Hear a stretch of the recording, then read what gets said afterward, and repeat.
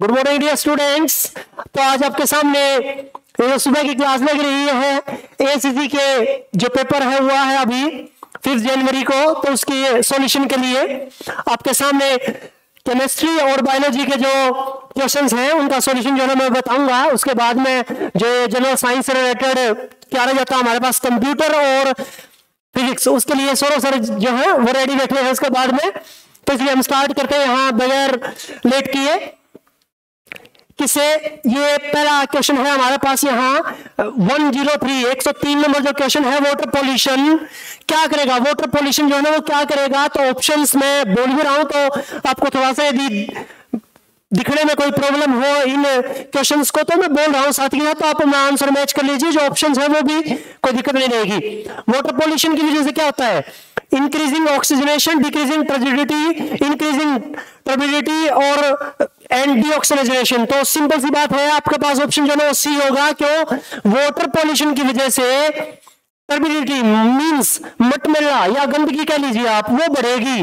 और डीऑक्सीजनेशन जो पानी में ऑक्सीजन सोल्यूबल हो रहा है, उसकी सोल्यूबिलिटी डिक्रीज होगी। डीऑक्सीजनेशन मींस जो ऑक्सीजन डिजोल्व है, वो बाहर निकलेगा एक है, उसकी सोल्यूबिलिटी जो है वो डिक्रीज होगी। तो 103 के लिए हमारे पास ऑप्शन क्या है? सी ऑप्शन है। उसके बाद में नेक्स्ट क्वेश्चन है 104 का mercury pollution causes a disease mercury की वजह से मरकरी की वजह से जो पॉलिश जो मरकरी की वजह से पॉल्यूशन है, उसकी वजह से एक डिज़ीज़ जो है, एक रोग जो है, वो फैल रहा है और उसका नाम है मिनेमाटा और ये मिनेमाटा किस टाइप का डिज़ीज़ है? ये सेंट्रल नर्वस सिस्टम जो हमारा नर्वस सिस्टम है, उसमें क्या कर रहा है? उसका जो फ़ंक्शन है, उसको डिसफंक्शन कहिए। उसके जो उसको जो फ़ंक्शन कर, उसको अच्छे से फ़ंक्शन नहीं करने दे रहा। डिसफंक्शन ऑफ़ नर्वस सिस्टम उसकी वजह से हमारी किडनी पर भी फ़र्क पड़ता है। जो किडनी का काम है, उसको रोकने का काम करता है ये मीनामाटा और वो किसकी वजह से है? मरकरी पोल्यूशन की वजह से है। ये हमारे पास। उसके बाद में नेक्स्ट क्वेश्चन है। 108 तो इसलिए हम अगला जो पेज है, वो ले रहे हैं। यहाँ हमारे पास यहाँ 108 पर 108 पर 108 के लिए जो क्वेश्चन है हमारे पास यहाँ 108 के लिए जो क्वेश्चन है वो, एक मिनट 108 के लिए हमारे पास जो क्वेश्चन है, वो ये है नीचे। अब दिखाई दे रहा है आपको। तो 108 पर जो क्वेश्चन है वो देखिए। वो है हमारे पास यहाँ silver articles become black on prolong exposure to air this is due to the silver की जो आर्टिकल्स है सिल्वर के जो ज्वेलरी गहने का लीजिए आप, वो उनको लंबे टाइम तक प्रोलोंग एक्सपोजर टू एयर लंबे टाइम तक जब हम छोड़ देते हैं किसमें एयर में तो वो क्या हो जाते हैं? ब्रेक हो जाते हैं। काली हो जाती है जो ज्वेलरी है, किसी, किसकी, किससे बनी हुई जो ज्वेलरी है? सिल्वर से बनी हुई जो ज्वेलरी है। वो किसकी वजह से? तो मैं रिएक्शन भी लिखूँगा। सिल्वर सल्फाइड की वजह से। सिल्वर सल्फाइड की वजह से और वो रिएक्शन भी लिख रहा हूँ मैं, क्योंकि सिल्वर जो है, बहुत कम रिएक्टिव है, लेकिन एयर में H2S gas hydrogen sulphide gas जो प्रेजेंट रहती है, उसके साथ रिएक्ट करके सिल्वर सल्फाइड बनाता है, और ये हाइड्रोजन को डिस्प्लेस कर देता है। इस वजह से अब ये सिल्वर जो सल्फाइड है, उसका कलर रहता है ब्लैक इस वजह से सिल्वर की जो आर्टिकल्स है, सिल्वर से बनी हुई जो ज्वेलरी है, चांदी की बनी हुई जो चीज़ें हैं, उनको लंबे टाइम तक हम एयर में छोड़ देंगे तो वो काली हो जाती है। तो किसकी फॉर्मेशन जो ज्वेलरी है, उसके ऊपर किसकी जो लेयर है स्टेक हो जाती है, सिल्वर सल्फाइड की, जो कि ब्लैक होती है कलर में। तो इसलिए हमारे पास ऑप्शन क्या होगा? Silver sulphide A G two S जो सी ऑप्शन है 108 क्वेश्चन का, ये है हमारे पास। उसके बाद में उसके बाद में देखिए नेक्स्ट है हमारे पास 109 वाला क्वेश्चन क्वेश्चन के नंबर जो है वो भी साथ के बता रहा हूँ आपको। A metal M react with an acid according to the equation कि कोई मेटल है एम हमारे पास? वो किसके साथ एसिड और एसिड से क्या निकलता है? एच आयंस उसके साथ रिएक्ट करके क्या दे रहा है? ये कर रहा है एम थ्री पॉजिटिव मेटल जो है वो उसके थ्री पॉजिटिव आयन में कन्वर्ट हो जाएगा। एच आयन है, वो एच टू की फॉर्म में जो है ना कन्वर्ट हो रहे हैं। ठीक है? अब हमें ये बताना कि ये मेटल जो है ना, वो कौन सी है? क्या वो कैल्शियम है एल्यूमिनियम है बेरियम है पोटेशियम है? एनडीए के सिलेबस में बताया था मैंने आपको वैलेंसी से रिलेटेड चार से रिलेटेड सीधा क्वेश्चन एल्यूमिनियम जो है ना, वो प्लस थ्री ऑक्सीजन स्टेट में रहता है एल्यूमिनियम थर्टीन नंबर पर बैठा है एल्यूमिनियम यहाँ पीरियोडिक टेबल में। टू एट थ्री तो इसकी वैलेंसी वो कितनी रहेगी? थ्री मेटल है। तो अच्छे क्या होंगे? रिड्यूसिंग एजेंट इलेक्ट्रॉन लॉस करेंगे। लॉस करेंगे तो थ्री इलेक्ट्रॉन तीन इलेक्ट्रॉन लॉस करेंगे तो कितना चार्ज आएगा? थ्री पॉजिटिव चार्ज आएगा। तो द मेटल इज़ एल्यूमिनियम वो मेटल जो है वो एल्यूमिनियम है। क्योंकि कैल्शियम की वैलेंसी होती है? टू तो टू पॉजिटिव रखेगा। एल्यूमिनियम थ्री प्लस रखेगा। बेरियम की वैलेंसी भी टू पॉजिटिव है। पोटेशियम की वैलेंसी प्लस एक है। तो इसलिए aluminium is the correct answer ये है आपके पास। उसके बाद में है वन वन टेन वाला normal blood pressure is biology का क्वेश्चन है कि जो हमारी बॉडी है, उसका नॉर्मल ब्लड प्रेशर क्या रहता है? आप जाते हैं तो डॉक्टर साहब जो है, सबसे पहले यहाँ वो बांधते हैं प्रेशर के लिए प्रेशर को जांचने के लिए और फिर ब्लड प्रेशर को जांचने के लिए और फिर आप बताता हूँ आपको, देख करके ना 80 120 मतलब 120 80 ये होता हमारा, हमारी बॉडी का नॉर्मल जो है वो ब्लड प्रेशर ठीक है जो देख के बताना शुरू में कि हाँ कि आपका बीपी कितना है, क्योंकि उसी चीज़ सीरियस वगैरह जो है ना, वो हो रही है। तो इसलिए बॉडी का जो नॉर्मल ब्लड प्रेशर है 120 से 80 तक। ऑप्शन ए जो है ना, वो ठीक है हमारे पास। उसके बाद में हमारे पास है हाँ कि उसके बाद में हमारे पास यहाँ one zero sorry one one one वाला क्वेश्चन मतलब एक सौ ग्यारह नंबर जो क्वेश्चन है, वो क्या है?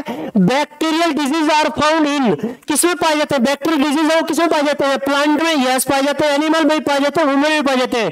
तो all of the above all of the are the correct answer ये है उसके बाद में, उसके बाद में एक सौ बारह क्वेश्चन है, एक सौ तेरह का क्वेश्चन है।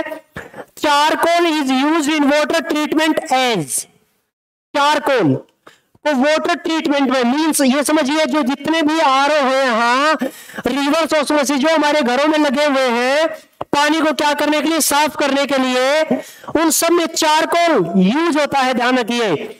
जो मेम्ब्रेन वगैरह है, जो बदलते हैं, वो चारकोल कार्बन की भी कार्बन की फॉर्म है चारकोल तो वो चारकोल का बना हुआ रहता है, सब आर में काम आता है। तो वाटर ट्रीटमेंट में वो किसका काम करता है? क्या वो सोलवेंट है? क्या वो ऑब्जॉर्बर है? क्या वो कोवलेंट है? वो एड्जॉर्बेंट है। थोड़ा सा स्पेलिंग को भी ठीक कर लेंगे। एड्जॉर्बेंट है। एड्जॉर्बेंट अपने सरफेस के ऊपर किसको? जो इंप्योरिटीज है, उनको अपने सरफेस के ऊपर एड्जॉर्ब करने के काम में लिया जाता है। एड्जॉर्बेंट चारकोल जो है ना एड्जॉर्बेंट का काम करता है। बहुत सारी गैस को भी अपने सरफेस के ऊपर एड्जॉर्ब करने के काम में लिया जाता। मतलब अपने सरफेस के ऊपर, अंदर नहीं जाने देता बल्क में नहीं जाने देता, अपने सरफेस के ऊपर। जो सरफेस के ऊपर जो है ना एड्जॉर्ब हो जाए। उन्हें कहते हैं, जो अपने सरफेस के ऊपर चीज़ों को एड्जॉर्ब कर लिया एड्जॉर्बेंट कहते हैं। अपना बल्क में नहीं जाने देते चीज़ों को मतलब इंटीरियर में नहीं जाने देते। बल्क के ऊपर रखते हैं सॉरी सर्विस के ऊपर रखते हैं चीज़ों को। उन्हें कहते हैं एड्जॉर्बेंट तो एड्जॉर्बेंट का काम करेगा। उसके बाद में है तो एक सौ तेरह का डी ऑप्शन है adsorbent one one four question है identify the reducing agent in the following reaction reducing agent बताना है हमें। क्या क्या रिएक्शन थी? तो रिएक्शन आपको साफ़ नहीं दिखाई दे रही है तो मैं लिख रहा हूँ वो रिएक्शन जो है, वो क्या रिएक्शन है? देखिए जरा रिएक्शन है गिवन है फ़ी टू ओ थ्री किसके साथ? कार्बन मोनोक्साइड के साथ। प्रोडक्ट जो है वो मैं यहाँ नीचे लिख रहा हूँ। प्रोडक्ट है हमारे पास यहाँ एफ़ और सीओ टू बैलेंसिंग की थोड़ी ना ज़रूरत हमें। कार्बन डाइऑक्साइड मतलब Fe2O3 आयरन का जो ऑक्साइड है कार्बन मोनोऑक्साइड के साथ आयरन और CO2 बना रहा है। अब ये करा इसमें से रिड्यूसिंग एजेंट तो रिड्यूसिंग एजेंट ध्यान रखिए। रिड्यूसिंग एजेंट जिनका ऑक्सीडेशन हो जाए ऑक्सीडेशन मीन जो इलेक्ट्रॉन को लॉस कर दे। तो इलेक्ट्रॉन को लॉस कौन कर रहा देखिए यहाँ। यहाँ हमारे पास आयरन जो है वो कितने में है? प्लस तीन में है। कार्बन कितने में है? प्लस दो में है। आयरन यहाँ ज़ीरो में मतलब प्लस तीन से ज़ीरो में ऑक्सीडेशन नंबर डिक्रीज हो रहा है इसका मतलब। क्या इसका रिडक्शन है? रिडक्शन मतलब ये ऑक्सीडाइजिंग एजेंट है। कार्बन प्लस टू से प्लस फोर ऑक्सीजन स्टेट में जाएगा। मींस इलेक्ट्रॉन को क्या कर रहा है? ये लॉस कर रहा है। इलेक्ट्रॉन को लॉस कर रहा है तो इसका ऑक्सीडेशन और जो ऑक्सीडेशन करवाते हैं वो कहते हैं? रिड्यूसिंग एजेंट जो ऑक्सीडेशन करवाते हैं वो कहते हैं? रिड्यूसिंग एजेंट अब ध्यान रखें इन चीज़ों को। दूसरी और बात, जिसमें ऑक्सीजन को क्या किया जाए आप समझिए? सीओ से सीओ टू मतलब कार्बन मोनोक्साइड में ऑक्सीजन को जोड़ा गया। इसका मतलब क्या? इसका ऑक्सीडेशन हुआ है। एडिशन ऑफ़ ऑक्सीजन इसमें ऑक्सीजन को और जोड़ा गया, ज़्यादा किया गया है। तो इसका मतलब है ऑक्सीडेशन ऑक्सीजन को ऐड करना और ऑक्सीडेशन कौन करवाते हैं? जो रिड्यूसिंग एजेंट होते हैं वो करवाते हैं। तो carbon monoxide is the reducing agent और वो है हमारा पास option C carbon monoxide is the reducing agent मैंने ये फ़ंक्शन भी बता दिया आपको कि किस तरह से काम करते हैं।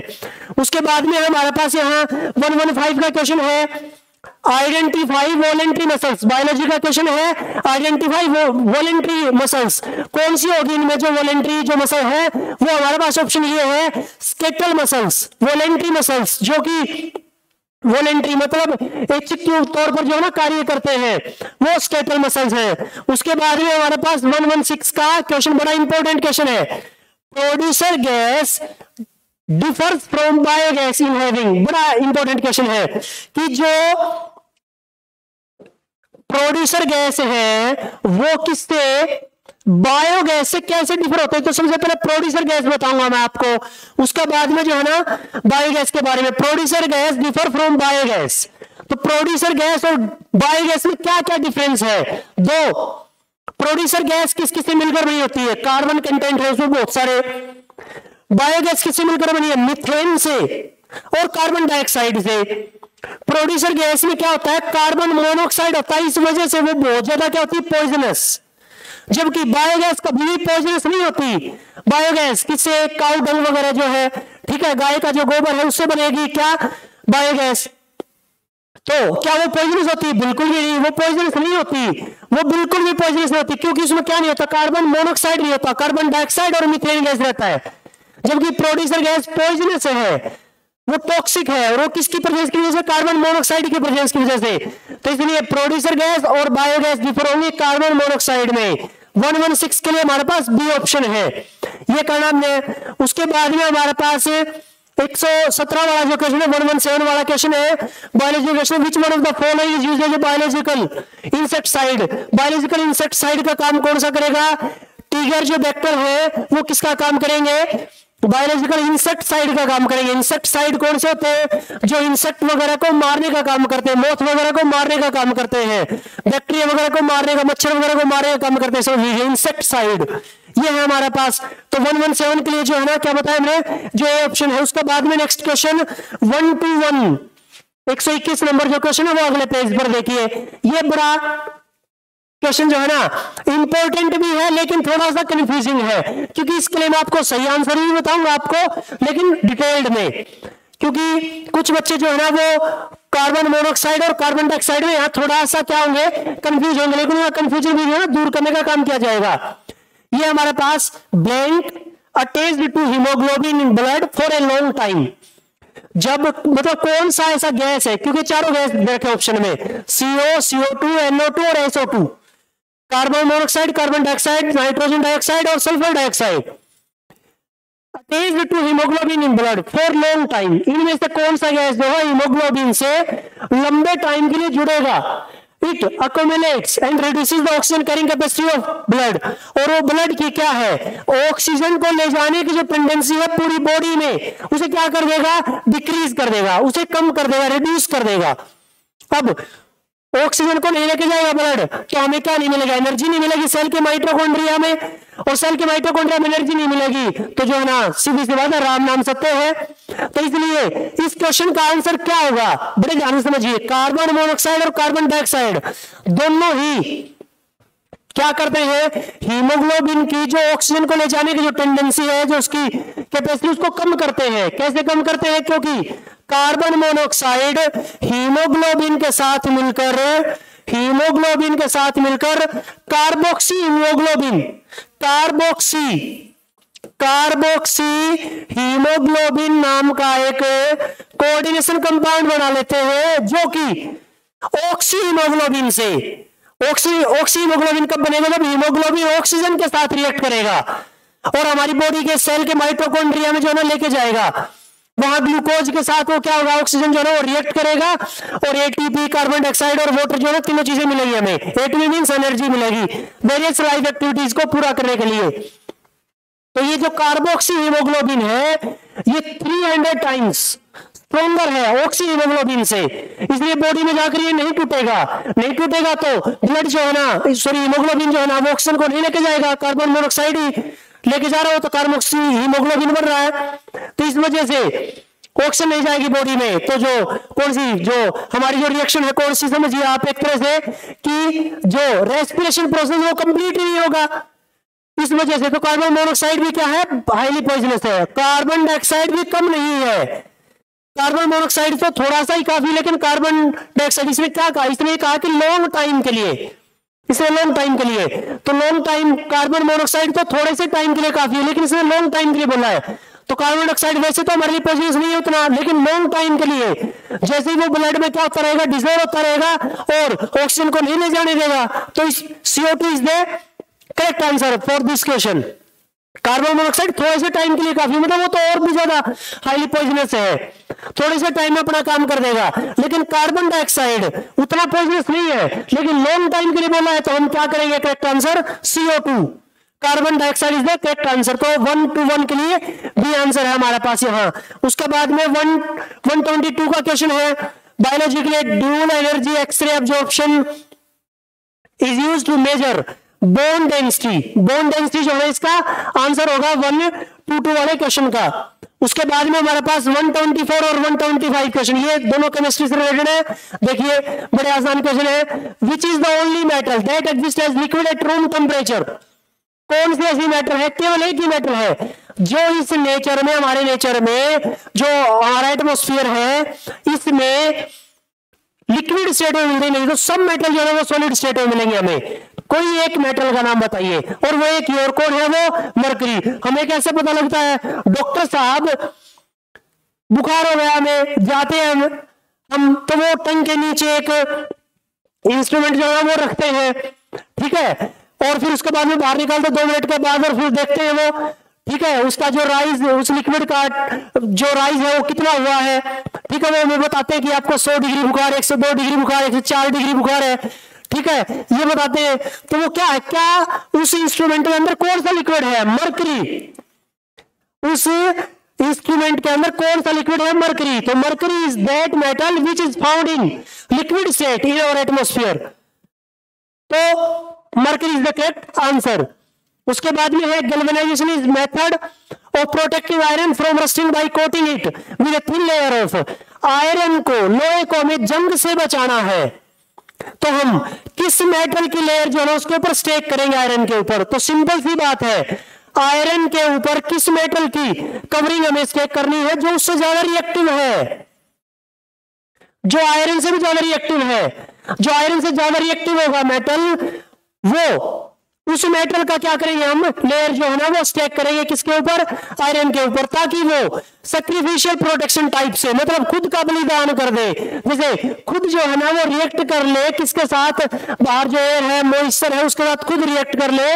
और आयरन तक एयर को और मॉइस्चर को ना एयर मीन ऑक्सीजन को और पानी को ना पहुँचने दे, जिससे उसको जंग लगेगा।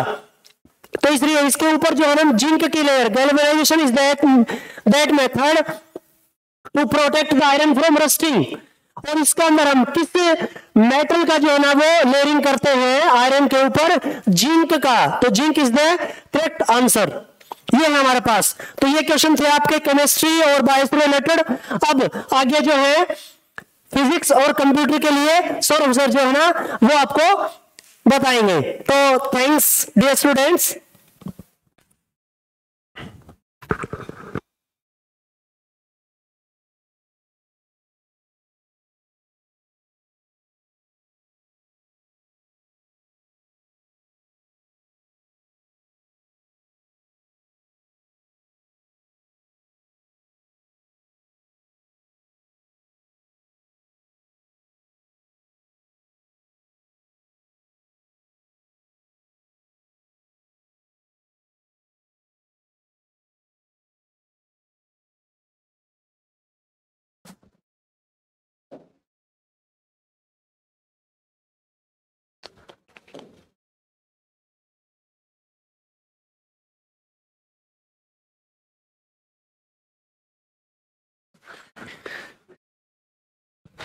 चलिए, जय हिंद, नमस्कार, जय भारत, वंदे मातरम।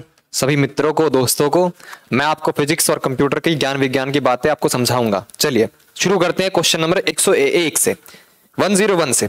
क्या प्रश्न पूछा है? An object is place 20 centimetre from the convex lens of the focal length 10 centimetre the image must be कहा इमेज बनेगी? भैया, सामान्य सा प्रश्न है। लेंस और उसमें पढ़ाई होगा लेंस और मिरर में कि भैया अगर ऑब्जेक्ट इन्फिनिटी पे है इमेज कहाँ बनती है? फोकल लेंथ फोकल लेंथ पे तो इन्फिनिटी पे, ठीक है? सी पर है तो सी पर बनती है, ठीक है? सी और एफ़ के बीच में है तो उसके पीछे बनती है। सी के पीछे है तो सी और एफ़ के बीच बनती है, उल्टी बनती है, ठीक है? ध्यान में ना? तो अभी फोकल लेंथ कितना दे रखा है बच्चों? फोकल लेंथ हमें दे रखा है कितना? दस सेंटीमीटर और ऑब्जेक्ट का रखा है बीस सेंटीमीटर मतलब कहाँ ऑब्जेक्ट रखा है? भैया सेंटर पे रखा है। सेंटर पे ऑब्जेक्ट रखा है तो इमेज कहाँ बनेगी? सेंटर पे बनेगी। और कैसी बनेगी? उल्टी बनेगी। रियल और इन्वर्टेड ध्यान में ना? ध्यान में कि नहीं है? अरे ऐसा बनता है भैया, ऐसा। ध्यान में कि नहीं है? ठीक है? ऐसा कुछ बनता है। बना के दिखाई देते हैं आपको। ऐसा कुछ बनता है। ऑब्जेक्ट रखा है। मान लीजिए फोकल लेंथ यहाँ पे, टकरा के जाएगा, टकरा के इधर बनेगा, ठीक है? तो इमेज कहाँ बनती है? सी पे ही बनती है, उल्टी बनती है। तो आंसर क्या आएगा हमारे पास बच्चों? B option B option B option real and and same size inverted बनेगा उल्टा, ठीक है? Question number 102 the gravitational pull dash cause the rise of sea water during the high tide भैया, किसके कारण? Venus Pluto Sun Moon gravitational pull आपको ध्यान में है कि लहरें उठती है, समुद्र की लहरें ऊपर की ओर उठती है। कब उठती है? ज़्यादा होता है फुल मून ठीक है? पूर्णिमा के दिन। पूर्णिमा के दिन क्यों? भैया, चंद्रमा बहुत नज़दीक होता है धरती के। इसीलिए क्या? लहरें ऊपर उठती है। तो सीधा सीधा आंसर बड़ा आसान सा है। प्लूटो बहुत दूर है। प्लूटो तो पता नहीं दिख ही रहा है कि नहीं दिख रहा है, ठीक है? सूर्य का प्रभाव पड़ता है प्रकाश के साथ, ठीक है? और वीनस का हम पे ज़्यादा कुछ प्रभाव नहीं पड़ता। तो उत्तर क्या है? मून है। फिर प्रश्न नंबर है 105 105 इस पे तो काफ़ी चर्चा हो रहा है। आजकल इंटरनेट पे काफ़ी चर्चा हो रहा है। What is the full form of A I A I का फुल फॉर्म क्या है? बहुत चर्चा हो रहा है आजकल, ठीक है? मोदी जी भी बात कर रहे हैं इसके बारे में। क्या है बच्चों इसका? आर्टिफिशियल इंटेलिजेंस आर्टिफिशियल इंटेलिजेंस इससे बच के रहिएगा, ठीक है? बहुत समस्या वाली चीज़ है। आर्टिफिशियल इंटेलिजेंट 105 का आंसर ठीक है बी ऑप्शन 106 का। The brain of any computer system भाई, ये बचपन से पढ़ते आए हैं यार। जब से कंप्यूटर शुरू हुआ एक ही लाइन पढ़ते थे brain of computer brain of computer CPU CPU CPU ठीक है? Central processing unit CPU answer number C ठीक है? आ, अगला प्रश्न है 107 पर। यह फिजिक्स का प्रश्न है if two conductor if two conductor if two connecting sphere are separately charge दो कनेक्टिंग स्फेयर है उनको अलग अलग चार्ज किया जाता है ठीक है? And then brought in contact अगर दोनों को नज़दीक लाया जाता है तो ऑप्शन देख लेते हैं क्या फ़र्क पड़ता है। The total energy of the two sphere is conserve total energy conserve रहेगा। यहाँ पे चर्चा किसी हो रही है? चार्ज की। एनर्जी की तो बात ही नहीं हुई। नहीं बात हुई ना? तो भैया, इस पे तो एनर्जी पे डाउट है अभी। हम नहीं जाएँगे इस पर ठीक है? अगला प्रश्न। The total charge on the two sphere is conserve ये क्या बोल रहा है? टोटल चार्ज हमेशा कंजर्व रहेगा। ये बात ठीक है, बहुत अच्छा है, क्योंकि चार्ज के बारे में बात हो रहा था तो ऑप्शन नंबर बी सही है, ठीक है? बाकी दो ऑप्शन गलत है, क्योंकि बात ही, बाकियों में पोटेंशियल और एनर्जी की बात है, लेकिन प्रश्न में तो चार्ज के बारे में पूछा गया है तो भैया ऑप्शन कट हो चुका है तो एलिमिनेशन मेथड से हमने इसका आंसर सोल्व कर लिया है तो चलिए, अगले पेज पे बढ़ते हैं भैया। अगले पेज पर प्रश्न number 112 which of the following is the capital of union territory of Dadra and Nagar Haveli केंद्र शासित प्रदेश, पता है हमें? दादर एंड नागर हवेली, इसकी, इसका कैपिटल राजधानी कौन सी है? राजधानी कौन सी है बच्चों? सिलवासा। बहुत इंपॉर्टेंट प्रश्न है, आजकल लक्षद्वीप और मालदीप आपको पता है, चर्चा में आजकल तो याद कर लीजिएगा। आगे भी प्रश्न आएँगे, आपके लिए नहीं? बाकियों के लिए। ठीक है जी? चलिए 112 का। फिर प्रश्न नंबर आता है 118 118 नीचे नीचे नीचे नीचे, बिल्कुल नीचे, ये देखो। The communication mode that support data in both direction at the same time the communication mode that support data support करता है डाटा को कम्युनिकेशन मोड में। बोथ डायरेक्शन में, दोनों डायरेक्शन में सेम टाइम में। तो क्या आएगा इसका उत्तर? कंप्यूटर का प्रश्न है। क्या आएगा? डुप्लेक्स बच्चों। क्या आएगा? डुप्लेक्स ध्यान में आ गया? डुप्लेक्स 118 का option number B option number B चलिए, अगले प्रश्न की तरफ़ बढ़ते हैं। 119 अच्छा इसके नीचे। ठीक है? Sending the file sending sending the file, sending a file from your personal computer, primary memory or disk to another computer is called. क्या कहते हैं? पर्सनल पर्सनल कंप्यूटर से प्राइमरी मेमोरी से डिस्क से किसी और कंप्यूटर में भेजने को क्या बोलते हैं? क्या बोलते हैं? सीधा सीधा उत्तर बच्चों, क्या है? अपलोडिंग क्या है? अपलोडिंग ठीक है? अपलोडिंग अगला प्रश्न। बड़ा ही गजब का प्रश्न है बच्चों। इंडिया फ़र्स्ट सुपर कंप्यूटर पता होना चाहिए आपको। यार, इतना आसान प्रश्न यार। भारत देश के बारे में बात है। क्या आएगा? परम। पहला भारतीय सुपर कंप्यूटर गजब का। परम, चलिए, अगले प्रश्न की तरफ़ बढ़ते हैं। प्रश्न नंबर 120 पीछे रह गया, पीछे रह गया, पीछे रह गया। 120 कहाँ गया पीछे? गायब हो गया क्या? अच्छा 120 परम था क्या? हो गया हो गया, चलिए चलिए, हो गया हो गया। सारा हो गया, ठीक है। Question number 123 question number 123 physics का बड़ा आसान क्वेश्चन था। क्या पूछा है बच्चों? बोला कि momentum has same unit that as of मतलब इस मोमेंटम की यूनिट किससे सेम है? सेम करेगी। कपल से टॉर्क से इंपल्स से moment of moment of momentum हमें पता है इंपल्स क्या होता है? हम बोलते हैं इंपल्स होता है चेंज इन मोमेंटम और फोर्स क्या होता है? Change in momentum with respect to time impulse क्या होता है बच्चों? चेंज इन मोमेंटम या initial final minus initial final momentum minus initial momentum तो यूनिट तो दोनों का सेम ही रहेगा। तो सीधा सीधा आंसर क्या है बच्चों? इंपल्स क्या है? उत्तर इंपल्स तो ये रहे आपके 25 प्रश्न जनरल साइंस के। तो आई होप आपको समझ में आया होगा अच्छे से। तो चलिए, जय हिंद, नमस्कार, जय भारत। मिलते हैं आगे।